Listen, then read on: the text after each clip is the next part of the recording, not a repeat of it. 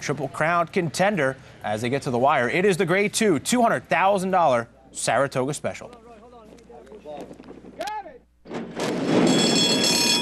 And they're off. Spurious precision fires off the mark, and Southern Honor breaks well too. And drum rolls with them on the outside. Dan, the 10 man away fourth. In harm's way, away a bit slowly, is at the back of the pack, and he's so fine trails the field. Spurious precision with a narrow lead. Right alongside Southern Honor. Drum roll right there with them on the far outside. Right there and behind them, it's Dan, the 10 man, through a quarter and 21 and 1. A spectacular first quarter mile here, and three of them doing battle into the far turn. Spurious precision, drum roll on the outside. Southern Honors in between those two.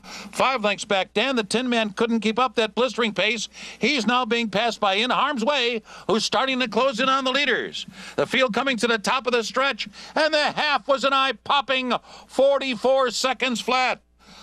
Southern Honor is spent. It's now drum roll and spurious precision, and they do battle with three sixteenths of a mile to go. Within harm's way, trying to reel them in, and farther back, he's so fine. And now, drum roll is spent, and spurious precision comes away with the lead and down to the line to win the Saratoga Special dazzling display of speed. Here's He's So Fine, a long shot, up to grab second money, in harm's way in a photo for third with drum roll. Time for that race was 116 and 2.